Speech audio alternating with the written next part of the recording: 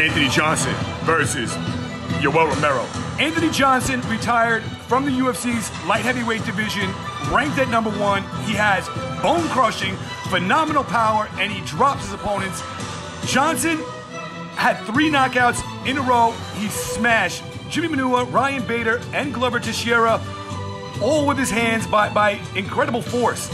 And it's scary to watch. He's a phenomenal wrestler, a freak athletic specimen. Anthony Johnson at 205 pounds is full force, pure brutality. Recently, Yoel Romero left the Ultimate Fighting Championship and he fought Israel Adesanya in his last fight for, for a title. Although he lost that fight, Yoel Romero was ranked really highly in the UFC's middleweight division before his departure. An ex-Olympic freestyle wrestler, Yoel Romero is extremely explosive and has phenomenal power as well. Scott Coker recently said that we're going to get to see a fight, quite possibly, between Rumble Johnson and the Soldier of God, Yoel Romero. I spoke to Cris Cyborg on text, and she told me something similar. She said we might see this underneath her fight with, with Kat Zingano. This is a fight fan's dream, seeing Yoel Romero step up in weight versus a man that could knock him out, really hurt him. Anthony Johnson in the first round is as explosive as it gets, and Yoel Romero might just have the perfect game plan, the perfect abilities to fight off a man like Anthony Johnson. Johnson, early on, is explosive. He's fought five round fights, and although he's never went the full five rounds, Yoel Romero has, and Yoel Romero might want to go out there and grind versus Anthony Johnson. Use his striking, but resort to his wrestling and taking the fight down early.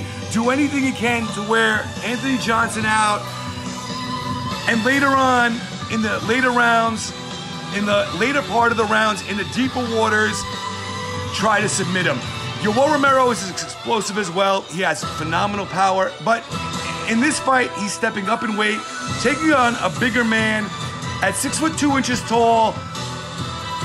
Anthony Johnson is only 36 years old right now, and although he's missed a, a big part of his prime, retiring at 33 years old, Romero is not getting any younger.